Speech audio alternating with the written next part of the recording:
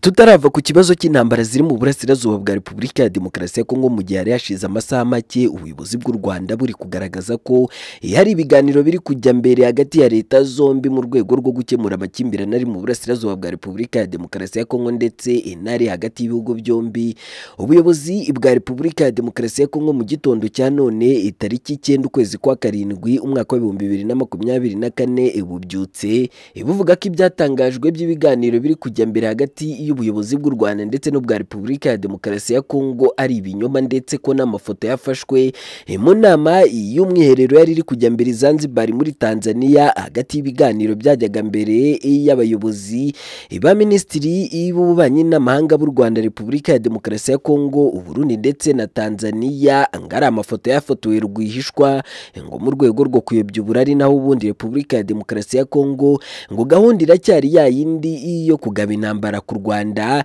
eh, gukemura ibibazo by'uburasirazuba bwa Repubulika ya Demokarasi ya Kongo biciye eh, mu gisirikare cyabo FARDC ni mu gihe ku rundi ruhande rero umunyamabanga eh, w'akanama ka MONUSCO Bintu Keita muri Repubulika ya Demokarasi ya Kongo yatangaje ko ahangayikishijwe cyane eh, n'ukuntu mu makumyabiri na gatatu itari gukangwa n'ingabo z'ibihugu byinshi nk'iza SADC zoherejwe eh, gufasha igisirikare cya Kongo FARDC guhangana n'uyu mutwe mu makumyabiri na gatatu ukomeje kwigarura ibice byinshi ibyo muri Kivu y'Amajyaruguru eh, mu burasirazuba ah, bw'iki gihugu. Ibi ngibi byatangijwe na Minisitiri w'Ububanyi n'Amahanga w'u Rwanda Ambasaderi Olivier Nduhungire uyu watangaje ko amafoto ya Minisitiri wungirije w'Ububanyi n'Amahanga wa Repubulika ya Demokarasi ya Kongo yaganira na bagenzi be bo mu Rwanda yafashwe mu buryo bwemewe n'amategeko ngo bitandukanye n'ibyatangajwe na Minisitiri akanaba umuvugizi wa guverinoma ya Kongo Patrick Muyaya eh, ko aya mafoto yafotowe mu buryo bwa rwihishwa mu rwego rwo kuyobya uburari eh, mu mirwano iri kujya mbere hagati y'ubuyobozi bwa Kongo ndetse n'ubw'u Rwanda.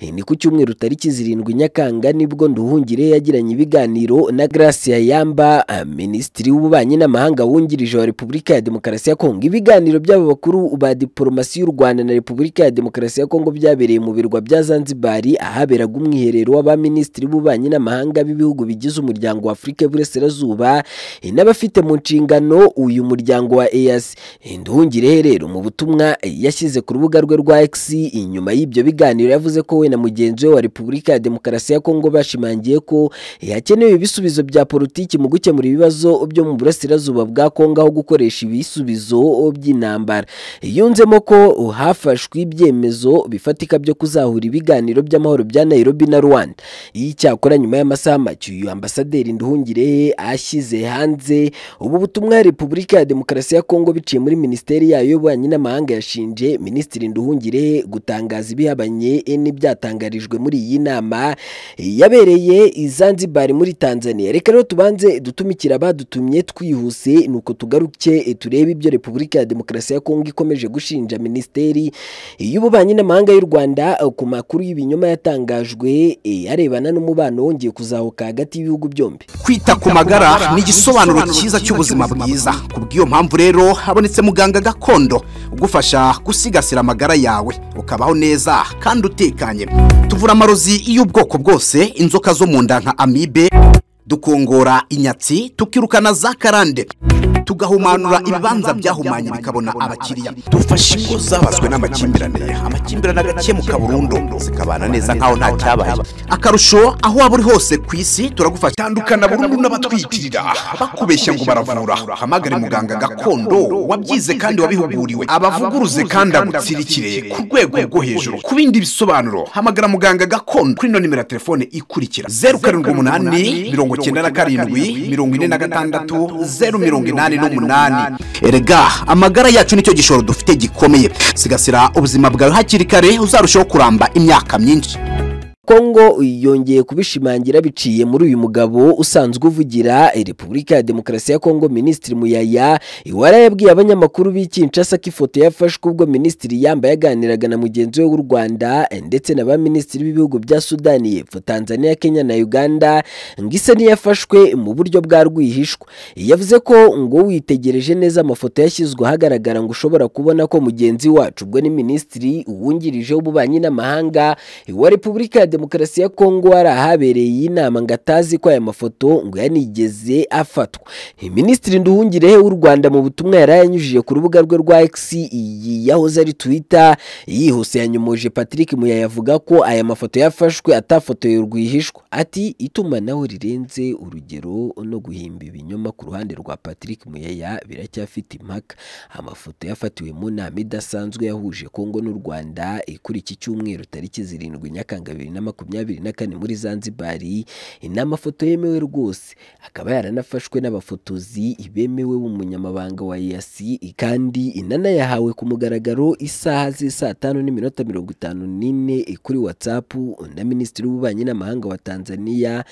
wanatwakiriye akanaba wari uyoboye mbene uyu mwiherero. Nduhungire yunzemo ko ikimenyimenyi mu gihe cya biriya biganiro minisitiri january makamba wa tanzania ngo yasabye abari babirimo ngo guha umunota umwe cyangwa ibiri abafataga amafoto kugira ngo babashe gufata amafoto ntawe ubangamiwe. Hagati aho rero imyanzuro y'umwiherero wa zanzibar igaragaza ko ubutumwa nduhungire yanditse kuri twitter ye ku cyumweru gishize ari ukuri. Umwanzuro wa munani uvuga ko ba minisitiri ngo bemeranije ko amakimbirane y'ibihugu akwiye gukemurwa hashingiye ku buryo bwashyizweho ubwo yasi yashingagwa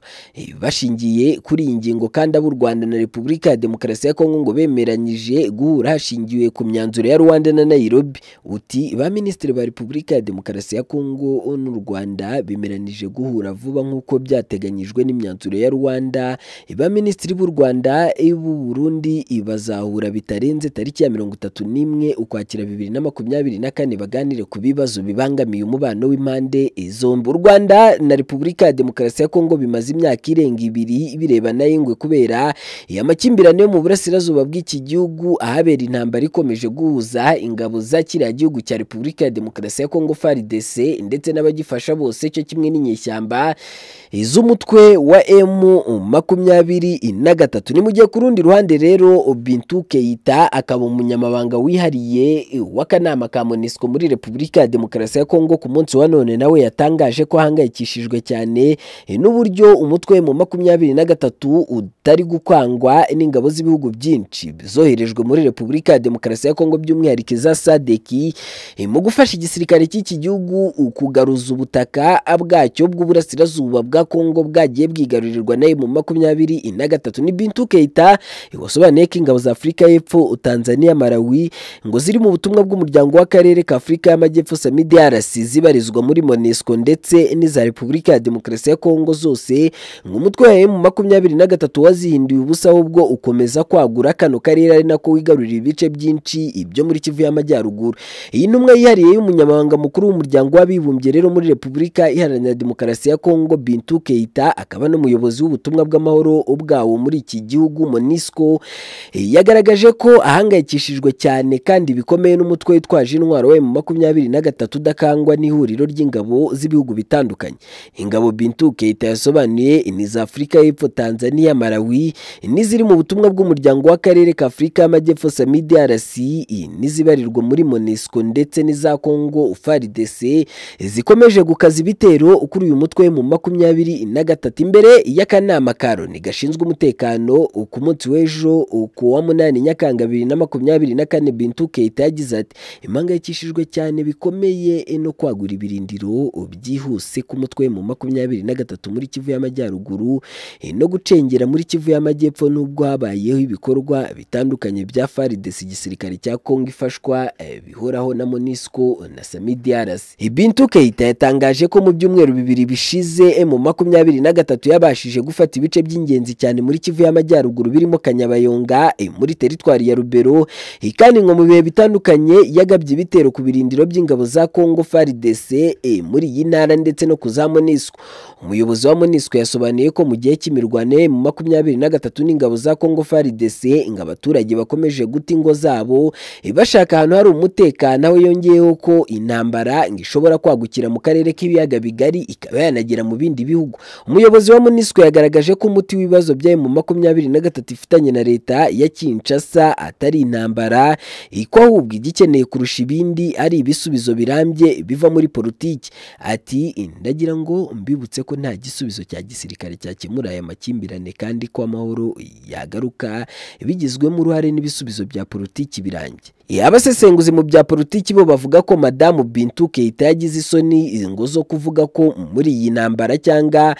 muri izi ngabo zirwana ku ruhande rwa repubulika ya demokarasi ya kongo harimo imitwe y'abacancuro biganjemo abaturutse mu gihugu cya romaniya wazarendo fdr rigizwe n'abasize bakoze jenoside mu rwanda ruhanganye n'iki gihugu cya kongo ndetse na rudurunana barwanya ubutegetsi bw'u rwanda cyo kimwe na seneri dfrn iyi yose ikaba ari imitwe irwanya ubutegetsi bwa kigali kandi yagiye igambirira guhungabanya umutekano w'u rwanda inshuro nyinshi. Minisitiri w'ububanyi n'amahanga w'u rwanda n'ubutwererane ambasaderi nduhungire ku butumwa yanditse ku rubuga rwe rwa x yavuze ko ngiyi ariyo gahunda ngo reka bakemure ibibazo bafitanye mu buryo bwihuse kandi bwemeranyijweho n'impande zombi. Ubu butumwa bwari buherekejwe n'ifoto ya generali james kabarebe baganira na minisitiri albert shingiro. Icyo kimwe n'indi foto ya james kabarebe aganira n'umugore uhagarariye repubulika ya demokarasi ya kongo woherejwe muri ibi biganiro mu rwego rwo gucubya umubano mubi umaze iminsi hagati y'ibihugu byombi. Umubano w'u rwanda n'uburundi wari umaze umwaka urenga utangiye kuzahuka wongeye kuzamba mu mpera z'umwaka ushize bitewe n'ibibazo bya politiki biri hagati y'ibihugu byombi.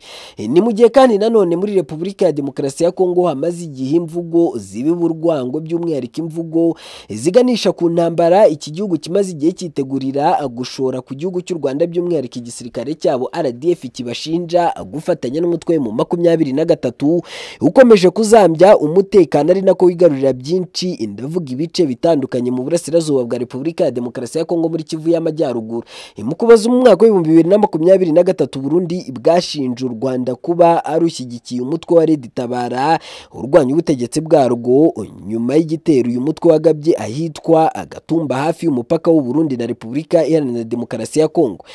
Nanone mu kuboza umwaka w'ibihumbi bibiri na makumyabiri na gatatu igihugu cya repubulika ya demokarasi ya kongo cyasohoye ibirego bivuga ko gifite ibimenyetso bifatika by'uko ingabo z'u rwanda rdf ziri gukorana n'umutwe mu makumyabiri na gatatu mu buryo bugaragara mu burasirazuba bwa repubulika ya demokarasi ya kongo yaho ingabo z'u rwanda icyo gihe zashinjwe gutanga imyitozo cyo kimwe n'ibikoresho bya gisirikare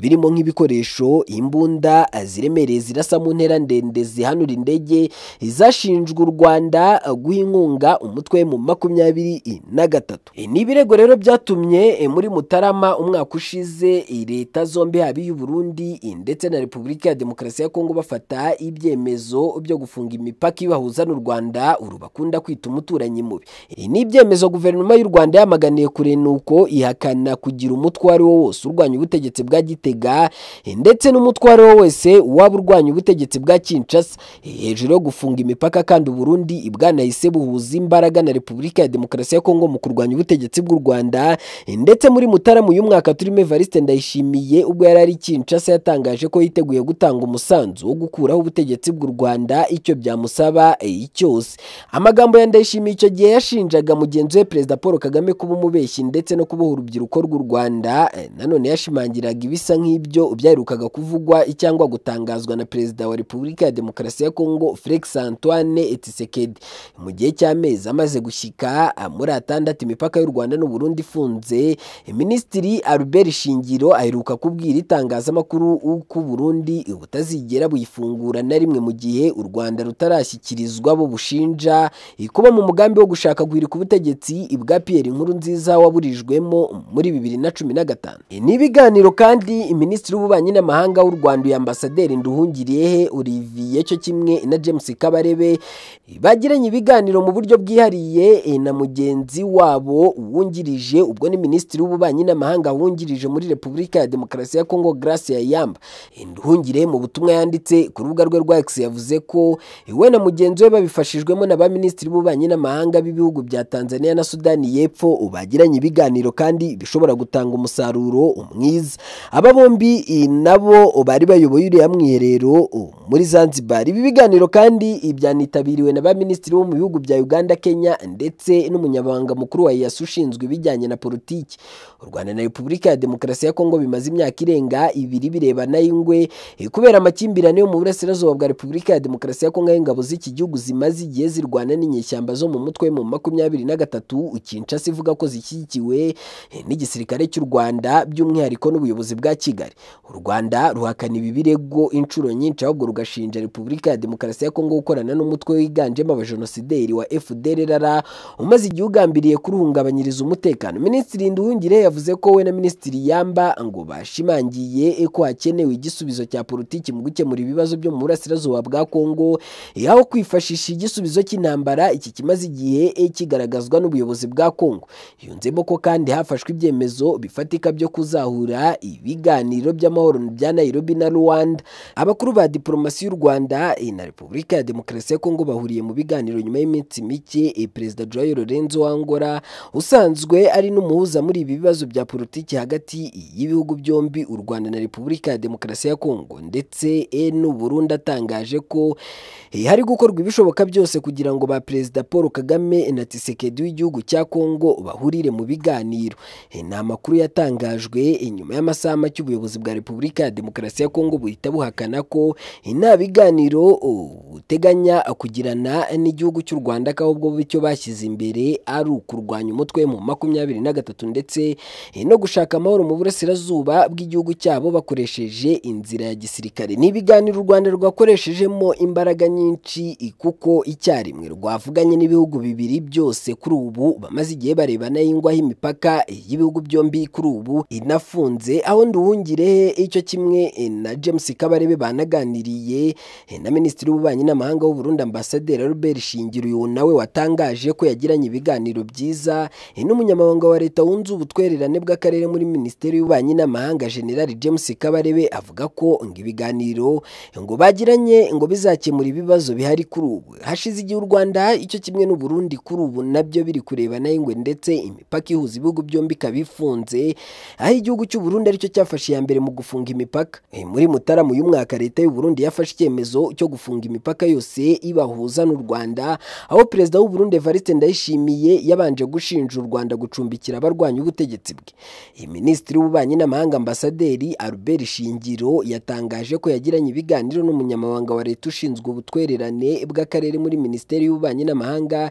James Kabarebe ubwo yari mu nama ihuza ba minisitiri b'ububanyi n'amahanga na ba minisitiri bo muri Afurika y'Iburasirazuba. Ni inama yaberaga muri Tanzania nk'uko nabikubwiye hejuru mu birwa bya Zanzibar. Ambasaderi Albert Shingiro yavuze ko ibiganiro ngari byo shingiro ryo gukemura ibibazo bihari. Ati inzira ya diplomasi ni igikoresho gikomeye mu gukemura amakimbirane umwuka mubi ndetse no kutumvikana kuri hagati y'ibihugu nk'u Burundi u Rwanda na Repubulika ya Demokarasi ya Kongo Perezida Ndayishimiye mu ijambo risoza umwaka w'ibihumbi bibiri na makumyabiri na gatatu yagejeje ku Barundi ndetse n'ibiganiro yagiranye n'abanyamakuru tariki ya makumyabiri n'icyenda ukuboza bibiri na makumyabiri na gatatu yashinje u Rwanda gushyigikira umutwe witwaje intwaro wa Red Tabara ni nyuma y'ibirego kandi nanone bimaze igihe Repubulika ya Demokarasi ya Kongo ishinja u Rwanda kuba rukorana runatera inkunga runafasha umutwe mu makumyabiri na gatatu. Perezida Evariste Ndayishimiye icyo gihe yatangaje ko u Rwanda rucumbikiye rukaba rugaburira ndetse rugaha intwaro cyo kimwe n'imyitozo umutwe witwaje intwaro wa Red Tabara wagabye ibitero mu gace ka Gatumba. Ibi biganiro bije bibanziriza ibyari byatangajwe na Perezida Joao Manuel Gonçalves Lorenzo wa Angola uyu watangaje ko hari gukorwa ibishoboka byose ngo kugira ngo mu gihe cya vuba ba Perezida Paul Kagame w'u Rwanda na mugenzi we Felix Antoine Tshisekedi wa Repubulika ya Demokarasi ya Kongo babe bahurira ku meza amwe y'ibiganiro mu gukemura ikibazo cy'amakimbirane amaze igihe hagati y'ibihugu byombi. Perezida Lorenzo uyoboye igihugu cya Angola kuri ubu ibi yabitangarije ya Bijana muri Cote d'Ivoire aho yari mu ruzinduko rw'akazi rw'iminsi igera kuri itatu yagiriye kuva tariki makumyabiri n'esheshatu Kamena bibiri na makumyabiri na kane kugeza tariki makumyabiri n'icyenda Kamena. Muri Werurwe uyu mwaka byari byitezwe ko Perezida Paul Kagame na Tshisekedi bahura nuko bakaganira ku mwuka mubi uri hagati y'u Rwanda na Repubulika ya Demokarasi ya Kongo nyuma y'inzinduko bombi bari bagiriye i Rwanda muri Angola hagati ya Gashyantare na Werurwe. N'inzinduko abakuru b'ibihugu byombi bahuriyemo ndetse bagirana ibiganiro na Perezida wa Angola Joao Lorenzo wahawe n'umuryango wa Afurika yunze ubumwe inshingano zo kuba umuhuza mu bibazo bya politiki biri hagati ya Kigali na Kinshasa. Icyakora nubwo Perezida w'igihugu cy'u Rwanda Paul Kagame cyo kimwe no wa Repubulika ya Demokarasi ya Kongo Felix Antoine Tshisekedi bari bemeye guhura kuri ubu amezi amaje kuba atatu yihiritse umuhuro wari uteganyijwe utabayeho ku mpamvu bikekwa ko ishingiye ku kuba Repubulika ya Demokarasi ya Kongo imaze igihe yigira nabi aho yashyizeho amabwiriza y'uko kugira ngo igirane ibiganiro biganiro n'igihugu cy'u Rwanda yari uko umutwe mu makumyabiri na gatatu ugomba guhagarika imirwano ndetse ukanavana ibikoresho byabo n'abasirikare babo mu bice byose by'intara ya Kivu y'Amajyaruguru ukuri ubu uri kugenzura. Kinshasa kandi biciye mu muvugizi wa guverinoma wayo Patrick Muyaya mu minsi ishize yatangaje ko hashyizwe imbere mu gukemura ikibazo cye mu makumyabiri na gatatu mu nzira y'intambara ngo kuko diplomasi ntacyo yigeze igeraho. Ni ibintu nanone e, byavuzwe na minisitiri w'intebe w'iki gihugu cya Repubulika ya Demokarasi ya Kongo Judith uyu wemeje ko mu buyobozi ndetse na guverinoma nshya yari ikimara gushyirwaho muri Kongo ikigiye kwimakazwa ari inzira ya gisirikare mu gukemura ibibazo byose e, biri ku butaka bw'uburasirazuba bw'igihugu cyabo aho yanavuze ko bagiye kurwana intambara inkundura mu rwego rwo kwirukana igisirikare cy'u Rwanda RDF ndetse bakanagikubitira ku butaka bwabo. Perezida Joao Lorenzo ubwo we na mugenzi we Alassane baganiraga uh, n'itangazamakuru yatangaje ko kuri ubu biganiro byo ku rwego rwa Minisiteri z'Ububanyi n'Amahanga biri kuba mu rwego rwo kureba uko ba Perezida Kagame na Tshisekedi bahura bakaganira ku rwego rwo gushakira ibisubizo birambye uburasirazuba bwa Repubulika ya Demokarasi ya Kongo ndetse